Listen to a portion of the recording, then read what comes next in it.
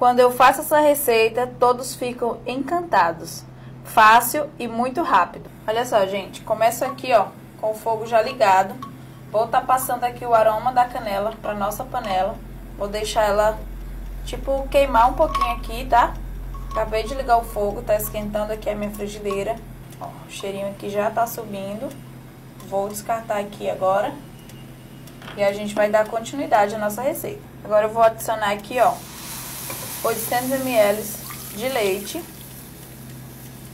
Vamos aqui fazer o um nosso arroz delicioso. Vou colocar aqui cinco cravinhos, cravinhos da Índia, tá?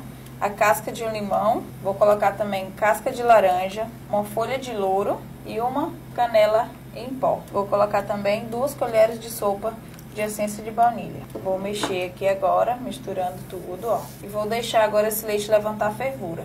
E assim que levantar a fervura, eu volto aqui pra gente estar tá dando continuidade a essa receita deliciosa. Olha só, meu leite já levantou a fervura aqui, ó. E agora eu vou colocar aqui o arroz.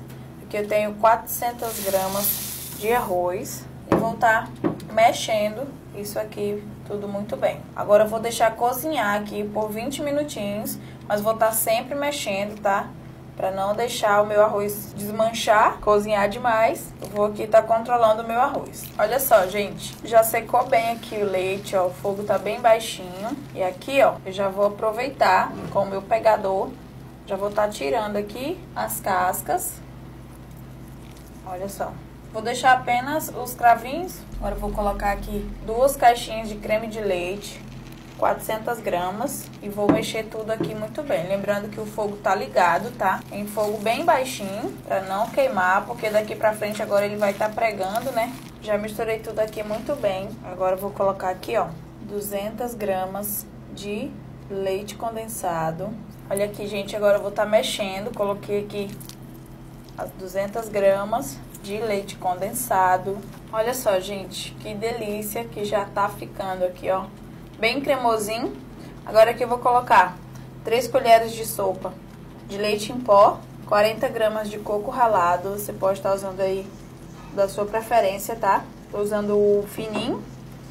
E vou estar colocando aqui também meia colherzinha de chá de sal.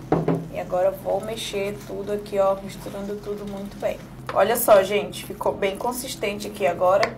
Vou desligar o fogo que tava com fogo baixo. Olha só. Agora aqui você pode colocar em um recipiente e colocar para gelar, tá? Eu vou estar tá servindo assim mesmo, ó. Olha aqui essa cremosidade, gente. Ficou bem consistentezinho por causa do coco, tá? Que sugou também aqui todo o líquido que tinha do arroz. Maravilhoso esse arroz para você comer aí gelado. Hum, faz aí que você não vai se arrepender. Bom apetite.